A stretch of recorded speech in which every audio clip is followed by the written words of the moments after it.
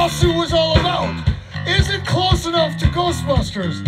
Let's just see ourselves, huh?